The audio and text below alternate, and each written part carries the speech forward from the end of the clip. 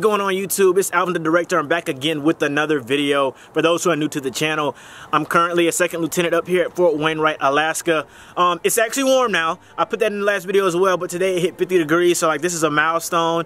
First time it's hit 50 degrees since last year, so like, you know, I feel good. I feel pretty warm. And shout out to my barber. You know who you are. I really need you right now because like, you know, with everything going on in the world, I can't get a haircut, so right now we have relaxed um, hair standards, not grooming standards, but hair standards on Fort Wainwright. So, you know, I'm probably gonna sport a little afro. And my head's gonna look a little nappy for the video, but charge my head, not my heart. All right, so let's get into it.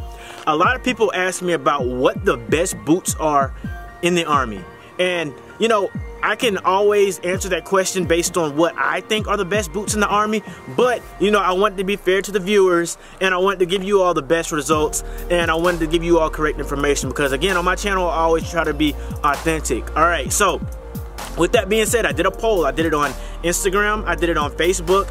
I did it in a bunch of groups that I'm in. I'm in a bunch of different um, Army groups and things like that with peers and with mentors. And I reached out to everyone. I even reached out to veterans and I wanted to ask them what the best boots are for the Army. Now, with boots, these are something that a lot of soldiers are very, very peculiar about because um, your feet are very important. To me, they're the most important like part of your body when it comes to having longevity in your Army career. All right, so before I get started into um, what the best boots are and what the results were, I have my phone out because this is what I'm looking at to um, refer to all my notes to make sure I'm giving you all the correct information based on the polls. So first I want to talk to you about what the different types of boots are. So you have your garrison boots, which are boots that you wear on post or day to day. It's basically what you're going to go to work in, you know, pretty much every day, the, the boots that you're going to wear the most. All right, then you have your rucking slash field boots and uh, some people have you know um, field boots and they have you know rucking boots or most people like to have um, their their rucking and field boots like together. And then you have your extreme winter boots. I'm not really going to talk about the extreme winter boots because unless you know you're in a place that has severe temperatures or unless you're just out in the extreme cold temperatures like in the field a lot it really is not gonna uh, apply to most people. So I'm just gonna I'm gonna leave those results out for the extreme winter ones. All right and then after I give you the results on um, the Garrison boots and the field slash ruck boots. I'm going to talk about what boots I actually wear and what I think are the best um, for me. But I'm going to talk about the results first. All right, so I'm excited about this because like this is something that I've been, you know, thinking about for a long time, and I know you all have been um, asking. So let's go ahead and dive into it. All right, so we're gonna go into Garrison first. So these are what people said are the best Garrison boots, just for wearing, you know, day to day um, while you're on the job, and the boots pretty much that you're gonna be wearing most of your Army career. All right, so let's go ahead and get into the Nike SFBs. All right, with the Nike SFBs, these are a lightweight boot. A lot of soldiers I've seen wearing these and a lot of people say that they're um, very durable and they're, they're pretty comfortable shoes. They're almost like wearing tennis shoes whenever you're out in the garrison environment. So you just slip them on, they feel great to walk around in. All right, and then you have the Garmont T8 NFS Lightweight.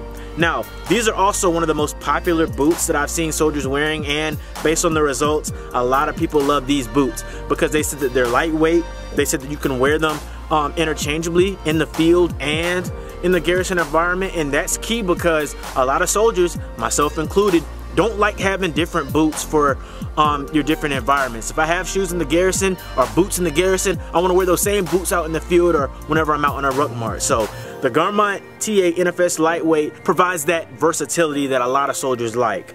All right, now the Oakley Light Assault Boots. These are boots that most people said that um, they recommend in the garrison environment only because they're lightweight. Oakley is a great brand for um, combat boots. I see a lot of soldiers wearing them.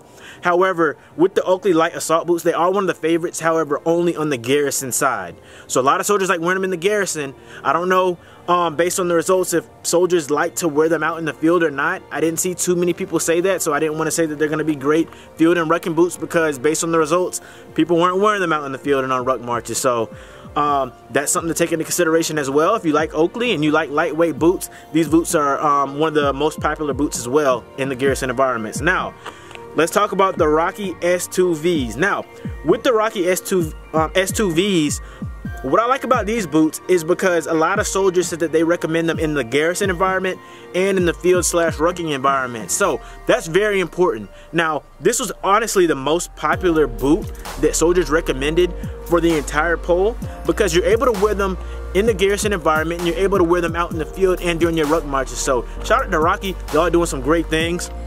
This was not only the most favorite, but this um, boot was also pricey.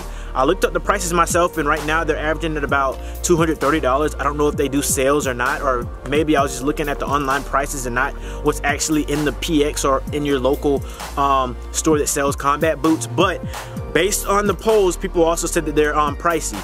But for me and um, a lot of other soldiers, we don't too much care about the price because you're investing in your feet. So even though they were about $100 more expensive than a, a, lot of the other boots, the boots that soldiers were saying that they could wear four or five years without replacing, which is a great thing. So that means they're durable boots and you can also wear them in the garrison environment. You can wear them out in the field and you can wear them um, for ruck marches. So this was the most popular boot and I was surprised because I didn't think that. I seen a lot of soldiers wearing them, but I didn't think in the back of my head when I did the poll that these were gonna come out on top. So these came out actually on top by a long shot.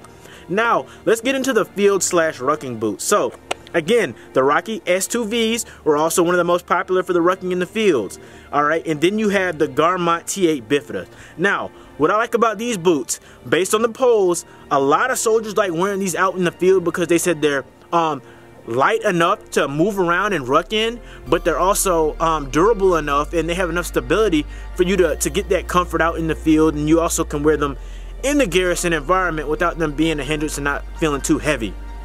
I um, asked some ranger um, buddies as well about um, what boots they like to wear and a lot of them recommended the Garmont T8 Bifida. So if you're a combat branch or if you plan on getting into um, you know some kind of combat MOS, the Garmont T8 Bifidas might just be your best friend. A lot of the combat soldiers specifically recommended these boots. So I don't know what your job is in the army or if you plan on, you know, doing a lot of things out in the field, but a lot of soldiers recommended the Garmont T8 Bifidas. They said it's a great brand.